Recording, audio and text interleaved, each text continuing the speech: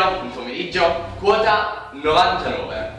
99 prime vittorie, assoluti. Qualche considerazione? Emozione, emozione tanta, sono, sono passati 11 anni da quando iniziai nel 2003, appena feci 18 anni, giù a Putrofiano, giù a Lecce. Sembra ridicolo, ma il mio primo giro me lo ricordo come se siamo scesi adesso da, da dentro la macchina, cioè, un, un ricordo e un'emozione forte. La ricordi la macchina? Che macchina era? Sì, era un Mini Cooper 1003. Ben 8 campionati vinti da quel Cotrufiano 2003. Ultima gincana, la 99esima vittoria, Ostuni, qualche considerazione?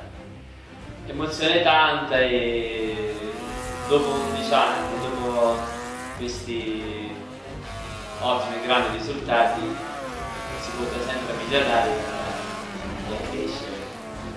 11 anni di gioia, giri spettacolari, pubblico divertito, ricordi qualche avversario? Eh, avversari da quando ho iniziato ne ho avuti abbastanza.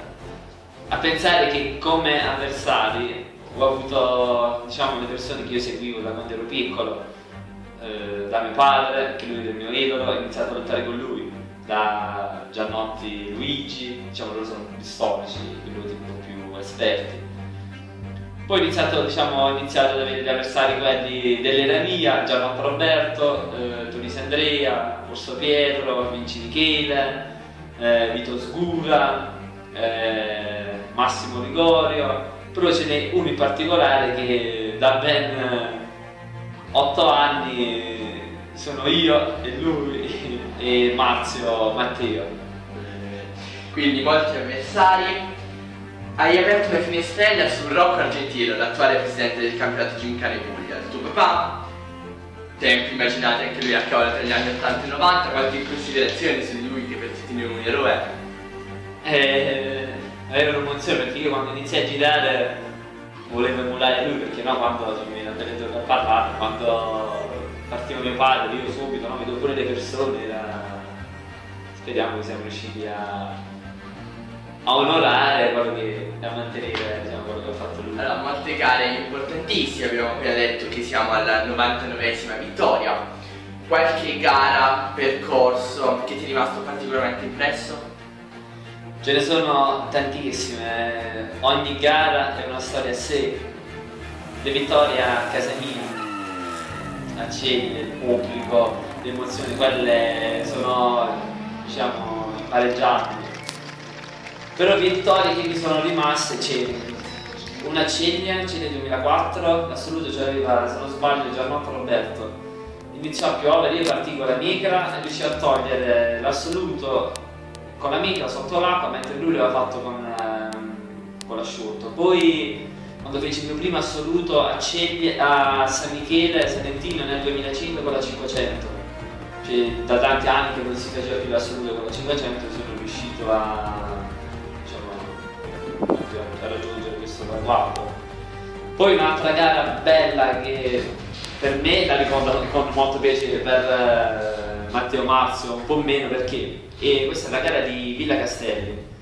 Condizioni climatiche allucinanti. Partimmo con eh, novembre se non sbaglio, la mattina c'era nebbiolina, umido, asciugata. Parte Matteo, riusciamo a fare una marcia più o meno tutte e due con le condizioni uguali. Parte Matteo e fa l'assoluto dovevano essere le 10 e mezza, 11 di mattina, poi continuiamo a girare, ma al suo tempo non, non, non lo arrivai, riuscì a batterlo la sera all'oscuro per 4-5 decimi e fu, fu, una bella emozione perché tutta la giornata eh, la stress, la tensione, per me è stata una bella giornata, un po' meno.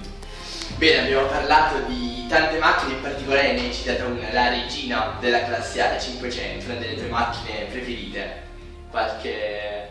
Penso la mia preferita, quella è a 500 e a 500. Macchine sempre rosse, una grande storia. La più piacevole del pubblico, la più piacevole di tutti i piloti, quella che forse tutti gli amanti di gincane vorrebbero portare una volta. Il GT. Alfa Romeo GT. È una macchina storica, quella l'ha portata mio padre nel debutto nel, nell'81. Sono passati gli anni, però ancora oggi sta lì e riusciamo a tenere sempre 11 anni indimenticabili, molte vittorie. Ricordi qualche episodio? Intanto ti ricordo io, carta alla mano, che il peggior piazzamento è un secondo assoluto, quindi tempi da fare invidia ai migliori. Ricordi comunque qualche giornata un po' storta, qualche episodio?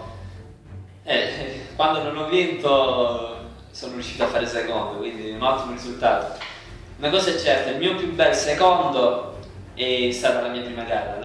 Sono riuscito a fare il secondo assoluto con la Mini. E tutti erano incredibili, dicevano come questa arriva la prima gara e riesce a fare il secondo tempo. Alla mia seconda gara e avevo il miglior tempo, però c'era una penalità, alla mia terza gara vinsi diciamo la grande.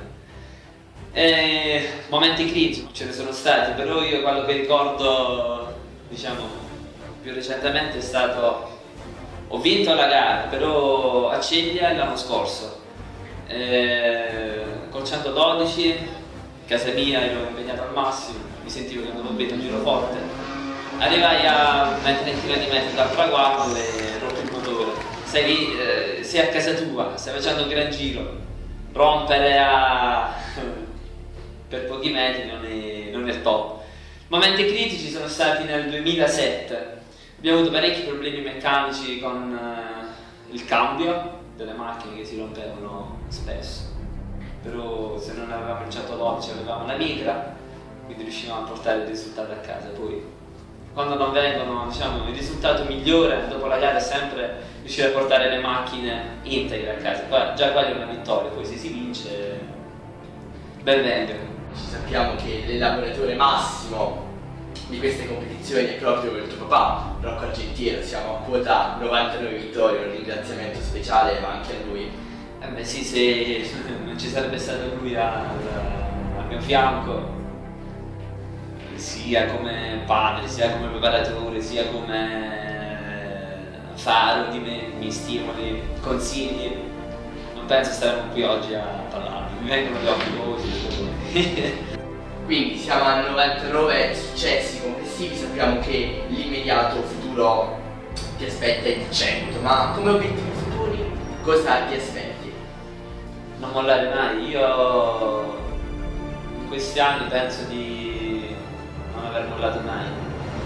E nonostante che sono passati tutti questi anni alla partenza mi sento sempre quel brivido che avevo la prima volta. Io penso che un giorno quando non proverò più quel brivido forse non sarà meglio, di, sarà meglio smettere. E, però ogni, ogni gara, ogni anno c'è sempre qualcosa da migliorare. Cioè pensare che si è arrivati al massimo, al limite no, c'è sempre da, da migliorare. Poi sono contento che ci sono parecchi giovani che stanno crescendo, mm, mio fratello Italo, Dio studia Andrea Daniele, par- parecchi ragazzi nuovi di quest'anno. Io dico loro di non mollare perché c'è tanto da fare, ci, ci, vuole, ci vuole tempo, non è facile, però non bisogna mollare mai. Pensa che io da quando ho cambiato la macchina dalla Micra al 127 per capire da 127 per riuscire a comprarla diciamo all'inizio ho impiegato quasi due anni quindi non bisogna mai mollare, non bisogna mai mollare nonostante l'esperienza che, che si ha Ringraziamo quindi Dana Giattera per questa breve e soprattutto emozionante intervista. Abbiamo ripercorso questi 11 anni stupendi partendo da quella Mini Cooper nel 2003 arrivando all'ultima gara vinta qui a Ostuni 2014. Molti avversari, abbiamo parlato del grande Rocco. Un ringraziamento ultimo, puoi fare? A tutti, a, a tutti i miei avversari, se non ci mi sono emozionato, se non ci sarebbero stati loro non sarei arrivato a questo livello. Grazie mille Donato, ci vediamo alla centesima vittoria.